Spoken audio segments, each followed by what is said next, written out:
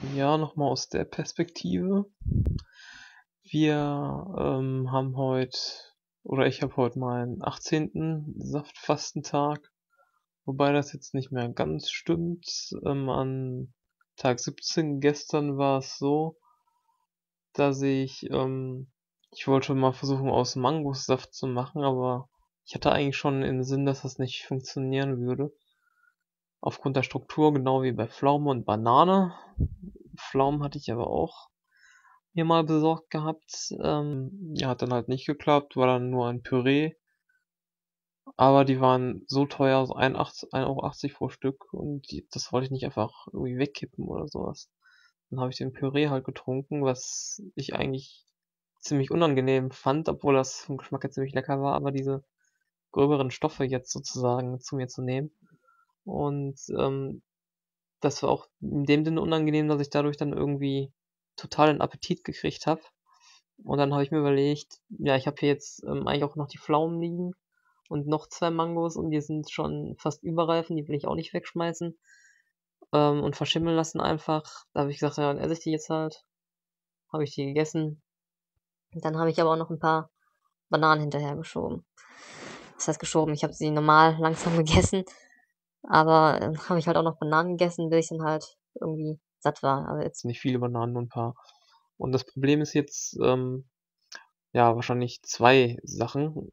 Eine Sache ist, ich weiß nicht, inwiefern jetzt durch meinen Saftfasten mit sehr wenig Kalorien die Darmflora noch intakt ist und ähm, Festnahrung, wie, inwieweit Festnahrung jetzt äh, noch verdaut werden kann, aber es hört sich eigentlich ganz gut an. Ähm, bin eigentlich sehr zufrieden, sage ich mal so, mit der Verdauung momentan. Ist sogar extrem besser, wirklich extrem. Es geht, geht alles, flutscht einfach durch, ohne Beschwerden. Und ähm, ich habe mich danach trotzdem noch extrem fit gefühlt. Ich hätte danach direkt Marathon laufen können, also direkt nach dem Essen. Also jetzt nicht überfressen oder sowas. Das schon gar nicht. Das andere dürfte sein, dass ähm, der Stuhlgang dadurch auch noch nicht aktiviert werden wird. Ähm, dass das Zeug jetzt wahrscheinlich lange drin bleibt. Und da habe ich mir gedacht, ähm, muss ich da halt daraus ein kleines Fastenbrechen machen. Das heißt, dass ich am heutigen Tag, also wir haben jetzt nachts, eigentlich dürfte ich gar nicht mehr wach sein, aber eins nach dem anderen. Ähm, ja, dass ich dann heute auch noch ähm, zusätzlich zu den Säften feste Nahrung essen werde, obwohl ich da keine Lust drauf habe. Obwohl ich habe ähm, jetzt noch Trockenfrüchte besorgt, Bio. Also Trockenobst und da habe ich eigentlich schon irgendwie Lust drauf, weil das halt wirklich stimuliert durch den ganzen Zucker, sage ich mal. Ähm, dann werde ich das halt zusätzlich zu den Säften noch. Aber Säfte mittlerweile liebe ich, ey, da könnte ich wirklich von leben. Ausschließlich. Ähm, ja, dann werde ich halt einen zweiten Tag einmal und dann hoffe ich, dass der Stuhlgang dadurch irgendwie aktiviert äh, wird und werde dann halt auch noch einen Einlauf machen. Vielleicht muss ich auch noch einen dritten Tag mit fester Nahrung machen. Und genau so lange werde ich dann jetzt auch die, ähm, das Saftfasten verlängern um drei Tage. Das heißt, statt vier Wochen mache ich dann halt 31 Tage, also einen Monat. Das dürfte ja dann kein Problem sein. Muss ich mal gucken, wie es mit dem Stuhlgang dann aussieht. Ich will aber eigentlich auch nicht zu lange reden jetzt. Ähm, ja, das ist also das Problem dabei mit dem, mit dem Stuhlgang, dass alles wieder rauskommt. Kann alles auch drei Tage dauern, bis das wieder rauskommt. Ähm, ja, da, ja, wenigstens muss ich das Obst dann nicht wegwerfen. Ja, wie gesagt, Mangos, Bananen und ähm, äh, Pfirsiche auch. Und Pflaumen kann man halt aufgrund der Struktur nicht entsaften, da kommt dann die ganze Frucht raus und wird dann halt ein Püree oder sowas Smoothie-artiges. Ähm, Ansonsten gewichtstechnisch war ich vor zwei Tagen auf 75 Kilo, wird sich dann daher jetzt wahrscheinlich nicht sehr geändert haben. Äh, sportlich muss ich wieder mehr aktiv werden. Hm. Ich hatte jetzt sogar einen kompletten Ruhetag, sag ich mal so, hat sich aber nicht gut angefühlt. Also von, von der Entgiftung her eigentlich schon, weil manche Entgiftung läuft auch sehr gut, nur wenn man ähm, ruhig liegt. So wie ich äh, wie es jetzt gerade mache, wir haben jetzt halt auch schon spät. Ähm, allerdings habe ich gemerkt, äh, dass ja der Chi-Fluss sich verschlechtert, wenn ich schon einen Tag ähm, ja, mich nicht genügend bewege. Ähm, ja. Sonst gibt's eigentlich nicht. Ah doch, ich wollte sagen, ähm, wie das jetzt weiter aussehen wird. Also ähm, ich habe auch eine kleine Kritik bekommen, sag ich mal so in Anführungszeichen. Also ich habe jetzt drei kritische Kommentare bekommen, die zwei davon äh, kann man getrost ignorieren. Einen davon ähm, dass, ähm, dass es zu extrem sei, das Saftfasten, oder, oder von mir aus auch das Fasten oder das Fasten, wie ich es momentan durchführe. Und da stimme ich äh, mittlerweile teilweise zu. Also nicht in dem Punkt, dass es extrem für den, die Belastung für den Körper sei. Das äh, merke ich, kann ich überhaupt nicht bestätigen, weil ähm, die sportliche Leistung noch viel größer wird und ich viel mehr Energie habe und mich viel besser fühle körperlich, extrem viel besser. Ähm, das, ist, das ist aber eine fast, man kann fast sagen, extreme Belastung für die Psyche, nur so wenig Säfte zu konsumieren und es ist eigentlich in meinem jetzigen vergifteten Zustand auch ähm, sinnvoll, mehr Säfte zu trinken. Also das unterstützt auch die Entgiftung, ähm, regt die Entgiftung an, unterstützt die Entgiftung in vielerlei Hinsicht. Allein auch schon die Mineralstoffe, die einen für die Entgiftung des Darms, die dafür notwendig sind, dass die, ähm, ja, dass man die reinbekommt, das Chlorophyll einmal, aber auch die Fruchtsäfte. Und ich fühle mich auch wirklich viel, viel, viel besser, wenn ich ähm, mehr Säfte trinke. Also ich werde das wahrscheinlich verdoppeln auf ähm, Menge weiß ich jetzt nicht. Ich rechne immer noch halt in Kalorien, weil ich so viel und intensiv früher gemacht habe. Also ich werde es auf äh, circa 1000 Kalorien hochschrauben. Und ähm, dann kann ich auch, kann ich das auch vielleicht noch länger durchhalten. Ähm, ja, also ich finde, zum, also ich habe jetzt viel Gedanken auf einmal. Ich weiß nicht, was am sinnvollsten ist, also welchen Gedanken jetzt strukturell am sinnvollsten ist, äh, jetzt da dran zu hängen, was ich gerade gesagt habe. Diesen machen beide Sinn. Ist auch egal. Jetzt habe ich natürlich beide vergessen, weil ich da jetzt noch drüber geredet habe. Ja. Ähm, ach, Kacke. Ah, genau. Ich finde äh, zum Beispiel Saftfasten, also Nullfasten, finde ich einfacher als das Saftfasten, was ich jetzt mache. Also mit den wenig Säften, das finde ich viel schwieriger, als wenn ich gar keinen Saft trinken würde. Aber wenn ich gar keinen Saft trinke, dann weiß ich sowieso, ich kriege sozusagen nichts Externes und ähm, kann mich dann völlig auf mich konzentrieren, also zu 100% und bin dann auch aktiver, ähm, weil ich halt weiß, ich kriege so nichts Externes, dann brauche ich auch gar nicht darauf zu warten, dass mich das irgendwie stimuliert oder so oder anregt. Da muss ich halt von vornherein aktiv sein und selber machen und mich geistig nähren, in Anführungszeichen. Ähm, und wenn ich dann aber halt so Saft trinke und so Saftfasten mache mit so wenig Saft und auch halt nur abends den Saft trinke oder zwei Gläser Saft, dann ist es so, dass ich den ganzen Tag irgendwie rumsitze und rumliege und die ganze Zeit darauf warte und einfach nur durchhalte bis abends, erst kann ich mal einen Saft trinken und ähm, dann habe ich danach aber trotzdem auch schon keine Lust mehr, die ganze Zeit durchhalten musste. Deswegen werde ich so machen, dass ich dann doch ab, ab mittags, nachmittags ähm, genügend Saft trinke und dann abends halt nochmal, dass das ja mehr, nicht mehr Struktur hat, ähm, mehr Struktur vielleicht auch, aber mehr Stabilität hat einfach und ähm, ja, mehr Stabilität hat und mehr ähm, eine Gewohnheit wird. Und ja, dass man das so mehr, mehr in seinem eigenen Alltag integrieren kann, unterstützend auch integrieren kann. Und genau, dann, dann wollte ich sagen, dass ich das dann wahrscheinlich auch länger durchführen kann insgesamt, weil das dann halt wirklich ähm, ja überhaupt nicht anstrengend ist, sogar halt befreiend und Spaß macht und halt lecker auch und stimulierend und mehr Stimulation dadurch be äh, bekommt ähm, und die Entgiftung auch nicht ganz so hart ist, ähm, mehr motiviert ist dadurch und dann könnte ich das auch eigentlich für immer durchführen. Ich überlege gerade, ob ich das in dem Video noch sage. Wo haben wir denn die Anzeige? Wie viele Minuten? 10 Minuten. Okay, dann kann ich das vielleicht jetzt noch machen. Ähm, aber ich habe mir überlegt, jetzt nach reifer Überlegung sozusagen, dass ich nicht direkt zum, das hatte ich nämlich in Überlegung gehabt, dass ich zum, ja, nur noch Flüssigkeiten Konsumierer werde, zum sogenannten Liquidarian, was äh, sozusagen die nächste Reinigungsstufe ist von ähm, äh, ja, eigentlich ist Rohkost, was man auch nochmal mehrere Stufen unterteilen kann. Ähm, dann kommt halt äh, Frutaria, also Früchte, Rohkost sozusagen. Ähm, möglichst nicht mit Hybriden, Zuchtfrüchten. Äh, und dann würde Liquidarian kommen, was eigentlich schon so das Endziel darstellen könnte. Also das Ziel ist jetzt nicht irgendwie von Lichtnahrung zu leben, weil das kann kein Ziel sein, weil das jeder tut trotz ähm, normaler Nahrung. Ähm, die Sache ist nur, dass, dass, dass die Nahrung halt die Energie blockiert, sozusagen, also die Chi-Energie vermindert und mein, und man, mein Körper damit belastet und ja, je belasteter man ist, desto niedriger ist die eigene Energie und äh, Vitalität, Fitness, auch Lebenserwartung ist daran angeknüpft und Frequenz, Eigenfrequenz, auch das Magnet, eigene Magnetfeld und so weiter. Ähm, ja, was wollte ich jetzt sagen? Es ist schon so spät. Wo war ich jetzt überhaupt? Mhm, Liquidaria, genau. Wie kam ich jetzt auf Eigenfrequenz und Energie? In der niedrigen Stufe. Boah, ist das schlimm gerade. ah, ich mache jetzt einfach bei Liquidarian weiter, weil ich nicht schneiden will. Dann muss ich, ja, ne, auch noch kommentieren und so weiter. Das kostet auch alles Strom und so.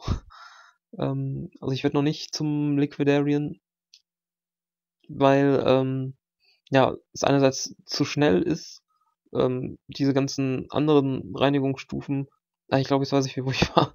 Also trotz der Nahrung läuft man immer, immer auf, ähm, ja, auf G-Energie und dadurch, dass man halt isst, äh, verringert man die Frequenz und je ähm, gröber die Nahrung ist und desto erdiger, erdigere Stoffe drin sind, desto niedriger wird die Frequenz und die Energie.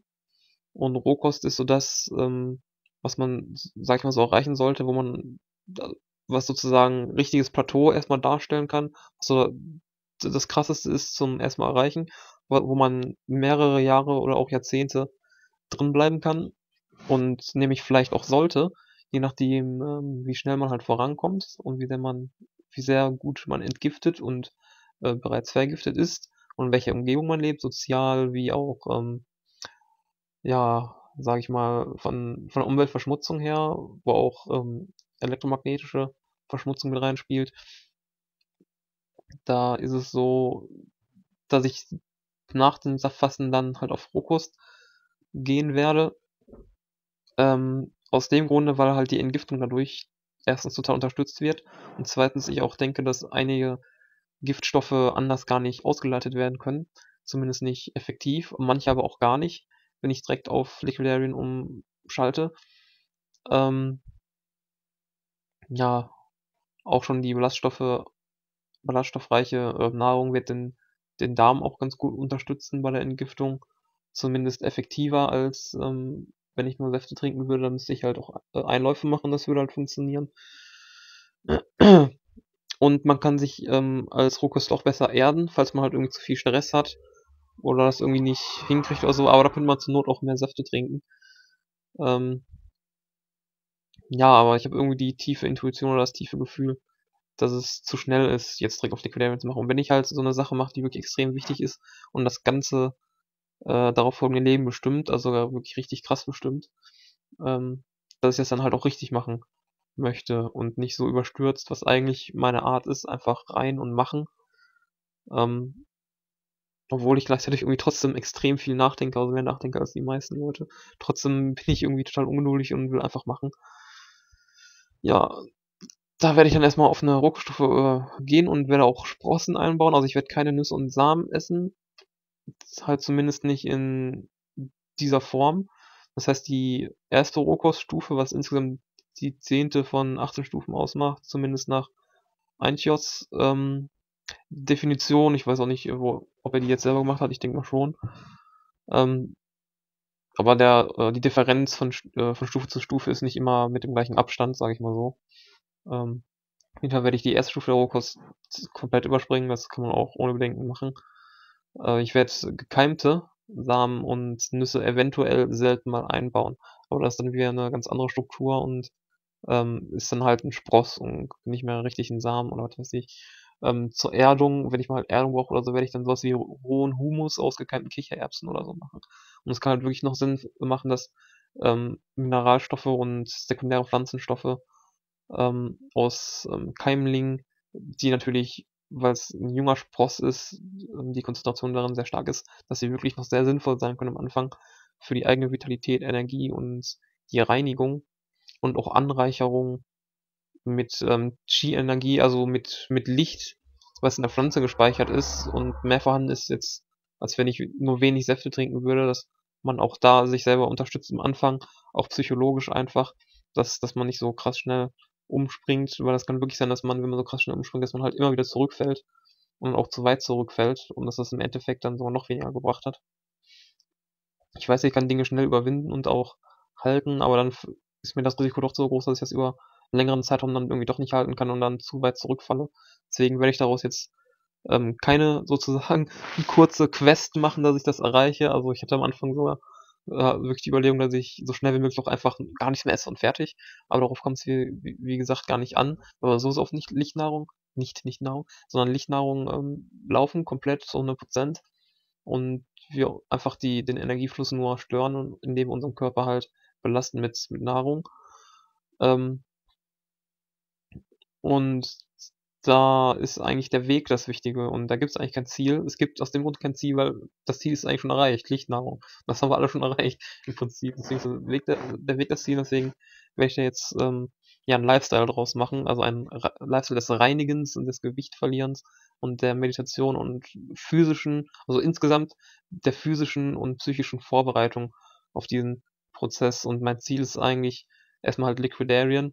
Und das wäre eigentlich auch schon mein Endziel weil wir sowieso acht Tassen ähm, Speichel am Tag generieren, auch als ähm, Breatharian, also wenn wir nichts mehr essen.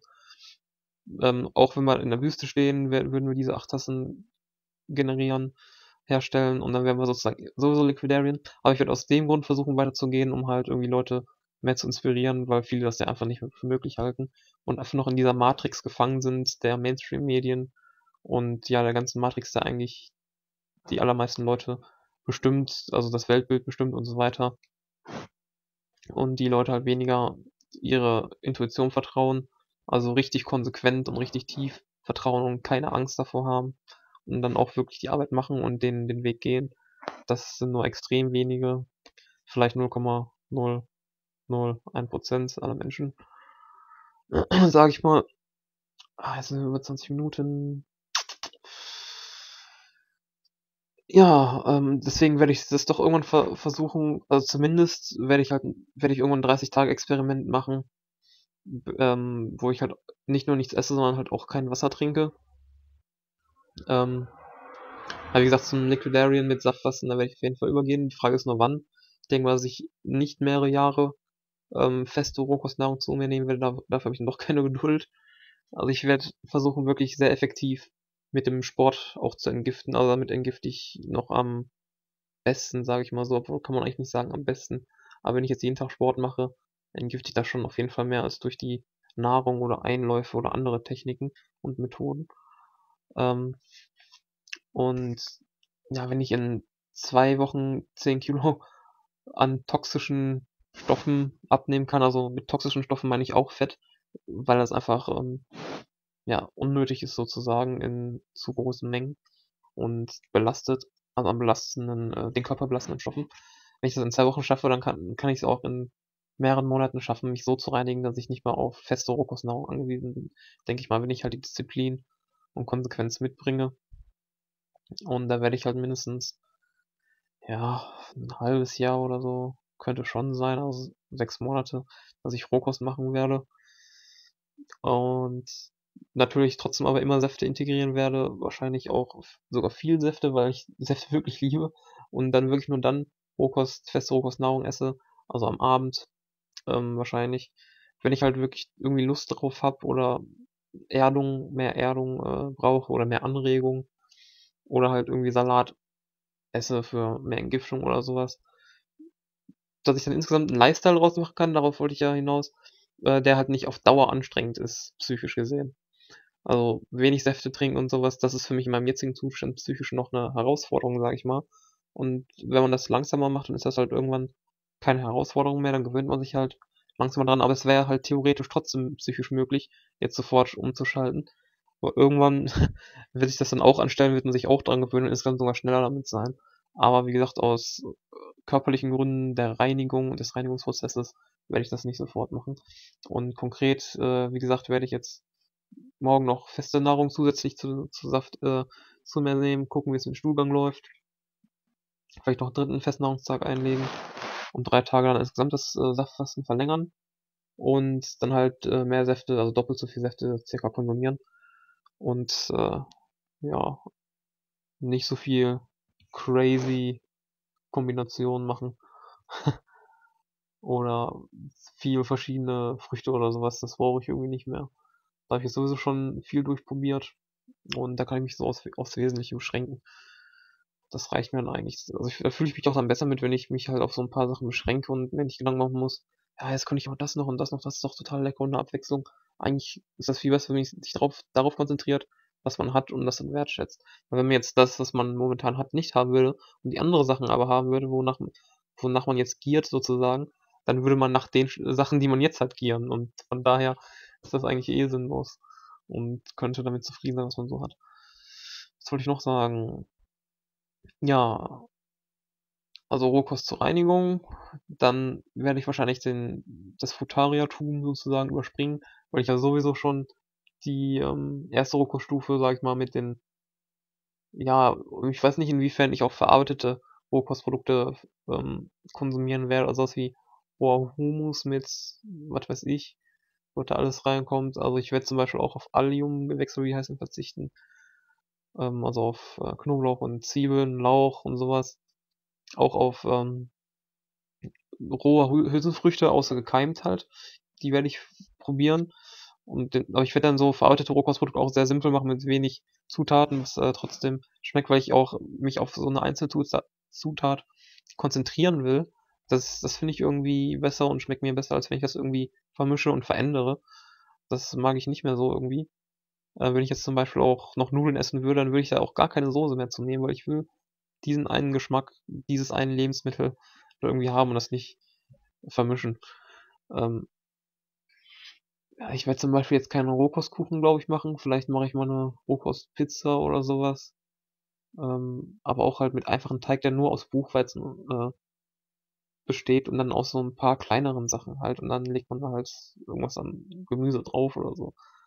Man kann ja für eine Tomatensauce auch einfach Tomaten mixen und irgendwie Gewürz zugeben. Das kann, könnte ich mir noch vorstellen, um mich halt zu erden, ausnahmsweise mal. Ähm, aber sonst werde ich halt mich wirklich an Obst und Gemüse halten und an deren Säften und im Prinzip sonst eigentlich gar nichts. Und wenn ich mich halt erden will, zur Ausnahme dann halt sowas, was ich gerade erzählt habe. Ähm, und dann werde ich den, das Frutariatum überspringen, nach ungefähr sechs Monaten. Jetzt, jetzt theoretisch kann halt auch ein Jahr dauern oder zwei Jahre dauern. Also ich will auf jeden Fall vor dem 30. Lebensjahr noch ähm, Säfte-Trinker an, reiner Säftetrinker sein, sage ich mal so. Ich bin jetzt 24, seit einem Monat. Ähm, ja, und dann werde ich halt noch nur, noch nur noch Obst und Gemüsesäfte konsumieren und Wasser. Ähm, würde ich wirklich gerne jetzt schon machen, weil ich, ich, ich liebe wirklich Säfte mittlerweile. Das, das geht gar nicht klar. Aber dem Darm zuliebe alleine schon der Darmentgiftung und Organentgiftung werde ich das halt langsam angehen. So. Ja, maximal 30 Minuten mache ich, anderthalb Minuten habe ich noch. Ja, und ja, einige Gründe habe ich ja schon genannt, warum ich das tun werde oder was ich daran sinnvoll finde, auch mehr Säfte zu konsumieren, wegen der Stimulation, der Entgiftung und ähm, der psychischen Gesundheit, sage ich mal dass, dass ich das halt langfristig machen kann. Also Fasten, wenn das halt mal ein paar Wochen anstrengend ist, ist, ist das halt kein Problem, man kann man einfach durchhalten. Aber ich will jetzt halt kein Lebensstil, den man das ein Leben lang durchhalten muss, das ist ja total Quatsch. Dann lebt man ja nicht mehr. Das ist halt so, dass man, dass die Geschmackssinne immer sensibler werden. Also ich mag es halt jetzt schon nicht, wenn ich irgendwelche Sachen vermische. Ich will die immer einzeln äh, haben. Und ich habe auch schon gemerkt, dass ich diese Hybridfrüchte, also diese gezüchteten Früchte gar nicht mehr äh, so geil finde und Wildfrüchte viel besser finde.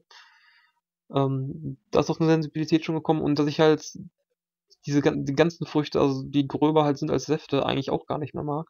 Ähm, man, ich habe sogar vor Wochen, war ich schon so weit mal, dass ich, ähm, dass mehr Flüssigkeit aus der Atemluft und aus der Luft allgemein gereicht hat, dass ich dadurch den Durst stillen konnte. Und ähm, dass ich da auch wirklich so sensibel geworden bin, dass ich allein durch das Prana also durch die Chi-Energie, ähm, nicht nur mich genährt gefühlt habe, sondern das richtig gesättigt hat. Also das, ja, und ich eigentlich gar nichts mehr anderes wollte, aber wusste, dass ich halt noch so vergiftet bin, dass ich halt wieder zurück muss. Das habe ich halt durch, durch, einen, durch einen langen, extrem intensiven, extrem krassen Lauf ähm, halt bei mir generiert. Da bin ich halt schon in diese Höhen, habe ich, also in diese Höhen habe ich mich da schon katapultiert. Also quasi in die letzte 18. Stufe hinein katapultiert. Musste dann aber halt wieder zurück ähm, ja, zur, ich bin jetzt glaube ich in der 16. oder 14. Stufe, ne 16. mit, mit Saftfasten. Ähm, ja, und maximal sollte man halt in die 10. Stufe zurück, also diese vermischte Rohkost, auch mit Samen und Nüsse und Rohkostkuchen, Gourmet-Rohkost, sag ich mal. Ja, also man wird halt immer sensibler der Geschmackssinn. Jetzt haben wir leider doch über 30 Minuten, aber ist wichtig. ähm, ja, so zum Beispiel habe ich schon lange auch keine Lust mehr auf Salz und sowas. Brauche ich auch gar nicht mehr. Und genau, ich wollte darauf hinaus, ähm, dass das halt nicht anstrengend soll. Und je sensibler der Geschmackssinn halt wird, desto zufriedener ist man halt mit, mit in Anführungszeichen weniger. Das wird dann automatisch irgendwie mehr aus, aus dem Nichts quasi. Und später ernährt man sich ja nur noch von nichts. Und, aber dieses Nichts ist dann das, das Maximalste gleichzeitig. Das ist dann alles. ja, das mag für den einen oder anderen Verstand schwierig sein zu verstehen. Aber das ist, ist wirklich so. Und eigentlich will ich sogar wirklich diese höchste Stufe erreichen. Aber wenn ich die Saftfasten mache, also 16. Stufe, 17. ist nur Wasser trinken, ähm, wenn ich das Saftfasten mache, dann habe ich trotzdem extrem krasse Chi-Energie und merke auch, wie, wenn ich, wenn ich Säfte trinke, dass die nicht sehr stark jetzt irgendwie ähm, erniedrigt wird oder gestört wird und ich auch sofort wieder ähm, genauso energetisch und startklar bin und nicht viel zu überwinden habe, wenn ich jetzt zum Beispiel Sport mache und ich hätte zum Beispiel Kochkost gegessen, dann müsste ich mega viel Sport machen, um diese Kochkost sozusagen zu überwinden und in die reine Chi-Energie wieder überzugehen. Wenn ich Säfte trinke, ist das eigentlich fast gar nicht so, aber manchmal habe ich dann auch wirklich gar keine Lust, Säfte zu trinken, werde es dann auch nicht machen. Besonders nach dem Sport habe ich keine Lust dazu, da ist dann die Energie so rein, da will ich das dann kein bisschen ähm, ver verunreinigen und durch externes vermischen. Ähm, das hatte ich früher schon gehabt, wo ich noch nichts davon wusste, dass ich nach dem Joggen und äh, nach dem Sport eigentlich nie was essen wollte, obwohl die meisten immer gesagt haben, ja, du musst direkt was essen wegen der Regeneration, damit du sofort eintritt, du wieder schneller trainieren kannst und so. Aber ich hatte da irgendwie stundenlang, das habe ich öfter mal stundenlang danach gar keinen Hunger, weil ich einfach so hart Sport gemacht hatte früher schon, dass, dass ich so viel Ski-Energie gesammelt habe, dass mich das extrem genährt hat und ich deswegen keinen Hunger habe. Deswegen hat man öfters keinen Hunger nach dem Sport. Ich dachte immer, es wäre einfach ein psychologischer Effekt, dass, dass man, dass Hormone ausgeschüttet werden, die ähm, einen anregen und das Hungergefühl sozusagen noch unterdrücken. Ähm, ja, auf jeden Fall wird der Geschmackssinn halt immer sensibler und man ist dann, ja, man, man trinkt dann irgendwann seine Säfte und ist da, fühlt sich davon noch viel mehr genährt als von irgendwie Rohkost oder normal vegan. Das ist, normal vegan ist für mich jetzt in meinem jetzigen Verständnis schon fast alles Junkfood, also diese, dieses gekochte Vegane, damit meine ich halt noch nicht mal Tofu oder so. Also meinen jetzigen Geschmacksnervenzustand habe ich da auch gar, kein, gar keine Lust mehr drauf. Das gibt mir irgendwie nichts und da ist irgendwie auch keine richtige, ja, keine richtige, ähm, Nährstoffzufuhr ähm, drin ist in Brot oder Nudeln oder Kartoffeln, dann ist nicht so viele Nährstoffe drin und erdet einfach extrem stark. Also nach Fleisch ex, äh, erden Getreideprodukte, also Stärkeprodukte extrem stark. Und das ist halt wirklich gut, wenn man vegan ist, dass man halt zumindest dieses Raw Till 4 Konzept macht. Aber das hat bei mir halt auch gar nicht funktioniert. Wegen der also Kochkost funktioniert bei mir einfach gar nicht mehr. Dafür ist mein Geist einfach zu, zu weit schon. Der ist ja jetzt auch schon wieder zu weit. Der ist ja jetzt schon bei Liquidarismus, aber da kommt der Körper halt so nicht mit. Ähm ja, und man, man ist dann wirklich richtig, fühlt sich richtig genährt durch, durch die Säfte einfach oder halt auch nur durch, durch Rohkost, weil, weil die Geschmacksnerven halt immer sensibler werden. Und irgendwann fühlt man sich halt wirklich genährt durch die Natur sozusagen, durch, durch die Atmung alleine, auch, auch die Flüssigkeit aus der Atmung und das Qi aus der Atmung und ähm, das Qi in der Natur allgemein, was in der Natur halt viel stärker ist. Und durch, durch den Sport natürlich, den man macht und ähm, durch geistige Arbeit und geistige Nahrung. Dadurch wird man dann zufrieden und satt und will dann auch halt gar nicht mehr zurück. Und das ist halt so, so der Sinn davon, warum man das überhaupt, macht. Das sind einfach höhere Stufen der Zufriedenheit und der, der Sättigung. Und die meisten verstehen das halt nicht.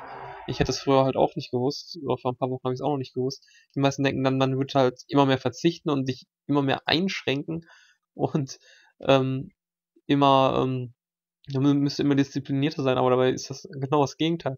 Man erreicht immer höhere Stufen der Zufriedenheit und der Sattheit und die Geschmacksnerven werden halt so sensibilisiert, dass das alles viel besser schmeckt. Und deswegen mache ich das halt auch eigentlich. Ähm, weil man da halt ja, ich will nicht mal von diesen, diesen Junk sozusagen abhängig sein und weil man, weil man sich ja durch irgendwie stimuliert und ich will halt durch, durch, durch, mich selber weiterkommen, das habe ich auch schon mal erzählt gehabt. Ja, jetzt mache ich dann mal einen Schluss bei 37 Minuten. Das soll ich auf jeden Fall erzählen. Auch, dass ich halt die ähm, Kritik teilweise berechtigt fand aus genannten Gründen. Ja, das war Saftfastentag 17 und 18. Bis dann.